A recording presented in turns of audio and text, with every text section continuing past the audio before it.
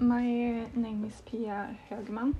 Started my practice in Malmö in Sweden where I live.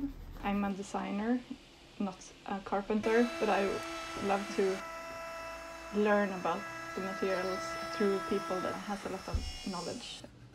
Ja, den hamnar perfekt.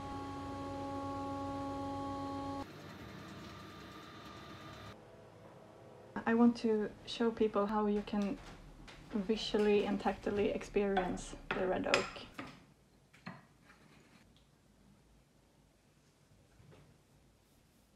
For me to show my process, let's not use just one surface treatment, show a range of it instead.